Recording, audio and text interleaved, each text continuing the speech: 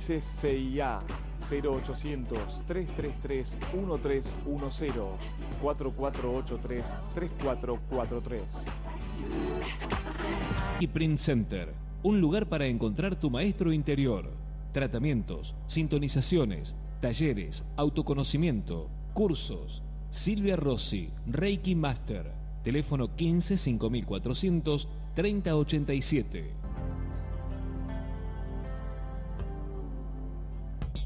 Seguridad Ciudadana en Morón. Desde la nueva central de emergencias, estamos monitoreando más de 100 cámaras y 170 alarmas las 24 horas. 911 Policía, 107 SAME, 103 Defensa Civil, Municipio de Morón.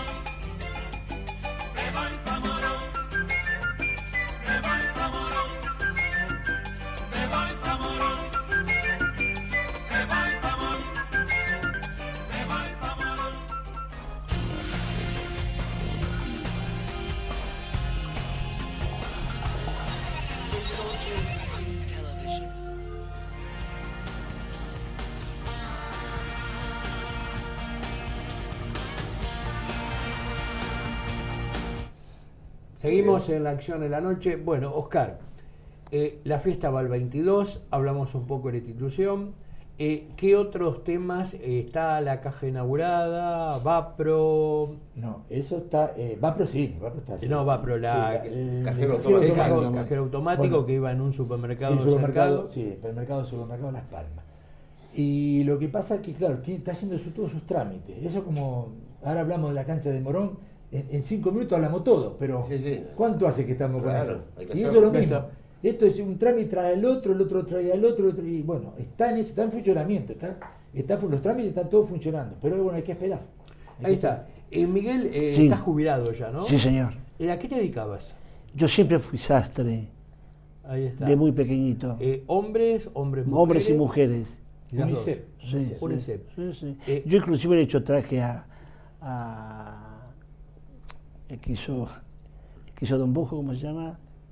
Que fue ah, senador. García Silva. No, no, no. Eh, quiso, a Román. A Román. A Román. Sí, sí. Gran, gran cliente. Y sí, Ahí está. no tenía problemas económicos. bueno, bueno, los tiene. no está todavía vivo. Este, sí, yo empecé de muy, de muy chico allá en Agüero. Yo tenía 18 años, ya tuve esa tarea propia. Esta, ¿Ves grandes diferencias en la confesión de su momento de apogeo, la actual, había más, más cuidado con la ropa, Terrible. vestíamos mejor. Terrible. Esto ya la gente no sabe cómo vestir. Perdón, ¿no? No, no, no. Eh, hoy en día la gente no sabe vestir. No, es que hoy hay mucha informalidad. Antes, por ejemplo, un traje, para un traje antes había que ser eh, sastre en serio. Recuerde usted que no se podía prácticamente entrar al centro de Buenos Aires Yo me acuerdo, sin de traje. Saqué corbata. Claro. En la cancha, en los partidos de fútbol, bueno, la, nota. el año 30 en las tribunas, todo con el, el, sombrero. Bueno, ya en esa época yo no me acuerdo porque todavía no había nacido, pero. No, yo lo he visto por fotografías. Con el Panamá, bueno, el traje de traje en la tribuna popular, ¿no? Mire, para que tengas un día, en Morón, por ejemplo, e, era chico, pero había tantos sastres a medida en esa época. Y sí, es que que era lo que se usaba. Era por lo menos mínimo 15, 20 sastres. Es que hasta la década del 60, por ejemplo, el estudiante secundario así fuera con el pantalón remendado, tenía que ir de traje. Sí, sí, Saque y corbata. Saque corbata. Saque corbata, bueno, de traje. Sí, sí, sí. Y ni se le ocurriera ir a un cine, como yo dije en el centro, una confitería, si no estaba de traje, no, entraba. En la misma, en los casinos ni que hablar. Ah, bueno, el casino lo mismo. En el hipódromo también iban con, con saco y corbata, si no lo dejaban entrar, ¿no? Era otra época. Y, y hay fotografías de las muy escasas piletas de natación que, que, están las, las Se- se mujeres. con con Las el- mujeres con el tipo que está, no, no, no, no, no, Ah. no. Las mallas, en- las mallas enterizas, pero el tipo que está mirando al borde de la pileta, está detrás Claro. que Está detrás. va con la leví, con el pollo duro, las polainas. Sí, sí, sí, sí. No, nada que ver. Aparte, queda. hablaba esto de la medida no- de la confesión, Sí. porque hoy en día se ve, por ejemplo, el uso de los pantalones en hombre. Es decir, uno dice, bueno, eh, ya era lo mismo si compras el talle que te corresponde o dos números más, porque igual todo el mundo lleva el pantalón prácticamente pisándolo, ¿no?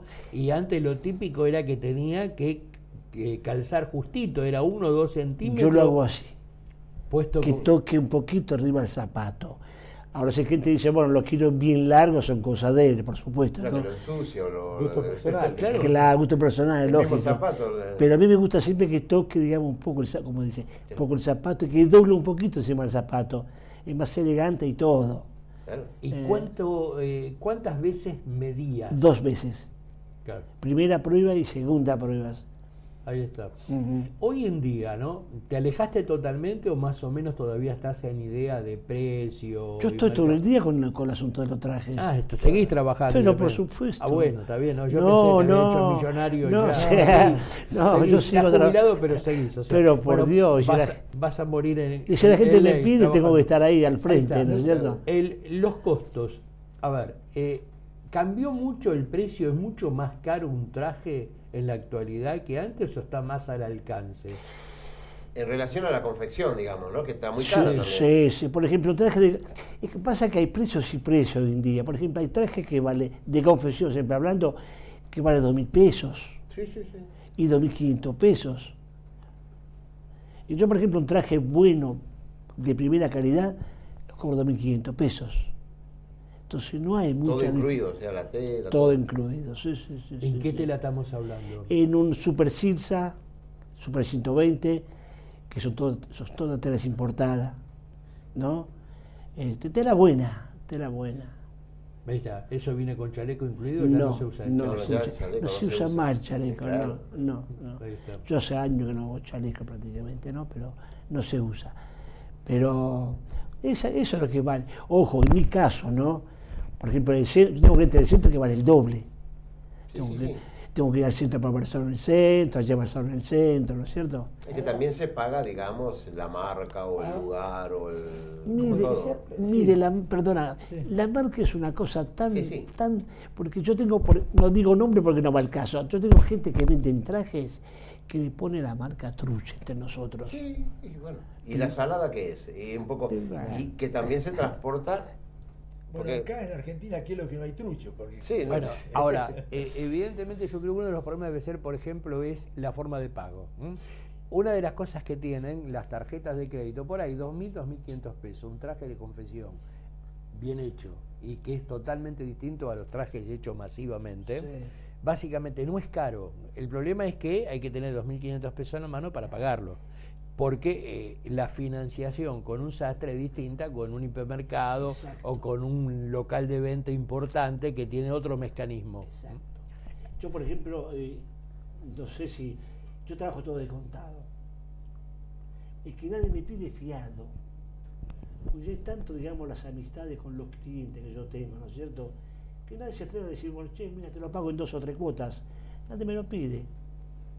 Entonces uno se puede dar el lujo. no, aparte que usted, Bueno, bueno. por lo que me dice, está en un precio, digamos, para nuestra época módico. Claro, bueno, por eso. Exacto. Pero digo, pero las diferencias pueden estar dadas, como sea, a ver, la gente viste mal, vestir mal significa, si te queda demasiado largo o corto, ya no le importa demasiado. O sea, uno nota lo que es confesión o lo que no es confesión. Simplemente, confesión está hecho a nivel del cuerpo de la De persona. claro. Entonces, la persona con un traje hecho a medida, vos no te das cuenta de las imperfecciones físicas que todos tenemos. Por eso mismo, el tema de la panza con, con un saco hecho de confesión, parece que la persona no tuviera panza. Comprás un, tra un saco, de- digamos, estándar y básicamente parece medio embarazado, ¿no? Con, con, con disimulo del Con embarazo. ese tema perfecto. ¿eh? Pero lo que pasa, lo que el saco le hace un saco él y nada que ver con uno que, que compra. Ah, no, no, nada claro, que ver, claro. Es, es- le queda justito. Yo le hago todo, un- digamos, la forma de las panzas para que disimule, digamos. A veces ven en casa, por ejemplo, gente con, como dice, una panza yo le hago, digamos, las pinzas para que esa panza disimule un poco.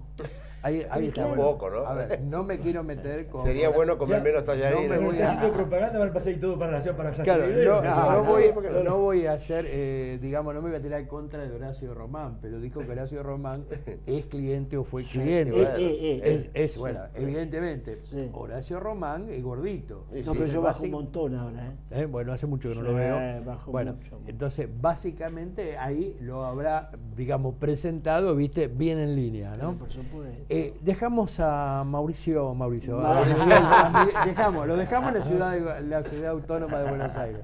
Lo dejamos a Miguel también. Eh, eh, Oscar, frío de por medio, ¿estás corriendo? ¿Seguís No, con...? Sí, sí, sí. Ahora estuvimos unos días ahí con el frío a, a, a full que no, no salí, pero ahora ya retomamos otra vez. Ya está viniendo otra vez el tiempo.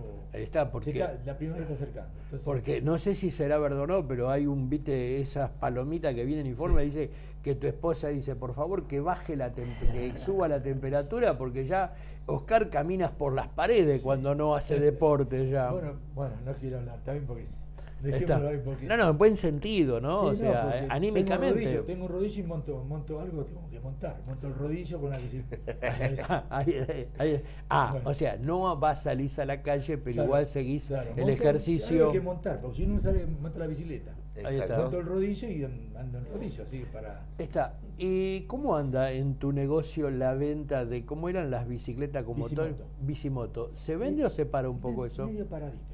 Más con el frío ahora no es temporada para nada, ni para la bicicleta prácticamente, porque el que la usa ahora en este momento es el que, la- el que trabaja con ella o muy así, pero si no, ¿quién va con estos fríos así? Ahora Claro. está empezando ya unos días de sol, de sol así, ya empezaron a mover un movimentito.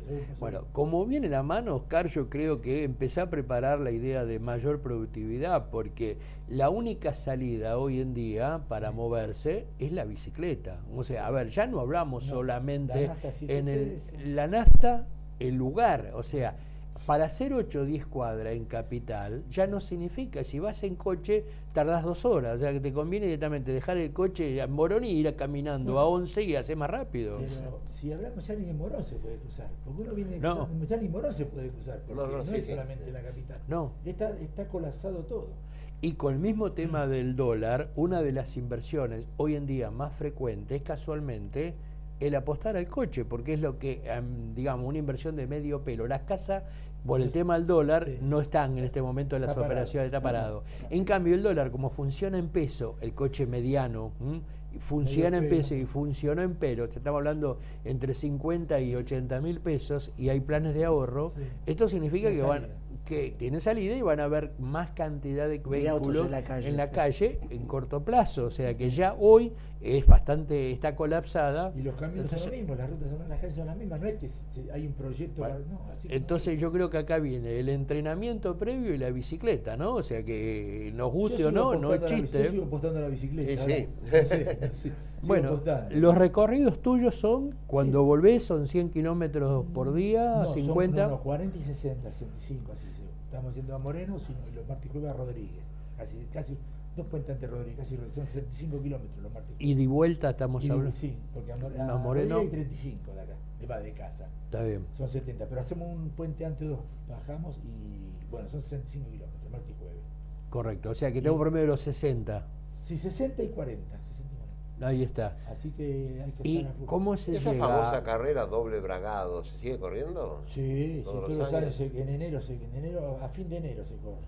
Ah, Una semana, antes eran tres días, hace ¿Y años par- atrás. participan gente de acá de nuestra zona? Mm, pocos de esta zona, sí, pocos. Ahí viene todo de, todas partes del, del país. Sí, Sí, sí, porque es una carrera Sí, así de, de- de Sí, nivel- a nivel nacional, A muy nivel conocida.